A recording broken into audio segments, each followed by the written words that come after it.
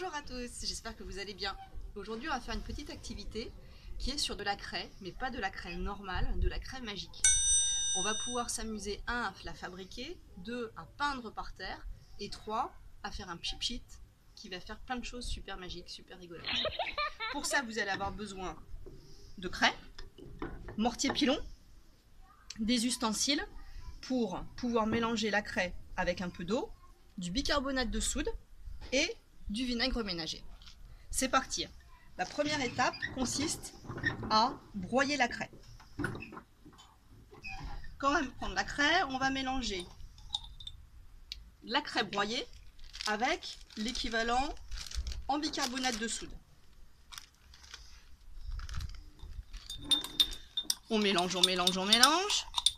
On va mettre un tout petit peu d'eau pour le rendre pâteux et pour qu'on puisse peindre sur le sol.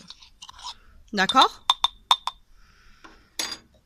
Je vais prendre mon pinceau et je vais pouvoir dessiner ce que je veux.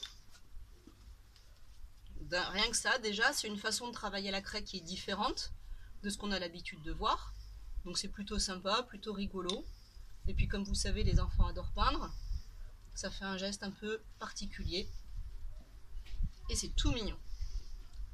Et une fois que j'ai fait ça, c'est là que la magie va opérer. Ça va faire des pchits.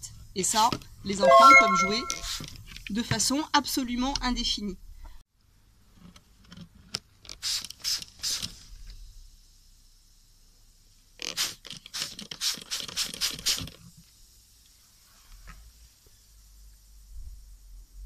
Et voilà, Apollo et moi, on espère que vous avez bien apprécié cette vidéo. On vous remercie beaucoup et on vous dit à très bientôt.